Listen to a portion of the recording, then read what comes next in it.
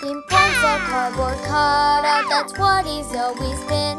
He uses soap and water to get his hands so clean. He washes all his fingers, one finger at a time. He washes both sides carefully and gets out all the grime. Before he eats his meals at home, he always takes his time to wash both hands real carefully to get out all the grime. And when he goes outside with all his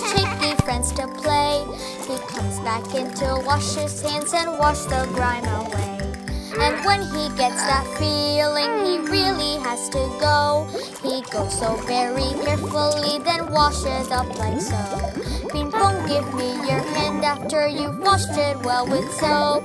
And let's be friends forever. Pin Pon, Pin Pon, Pin Pon.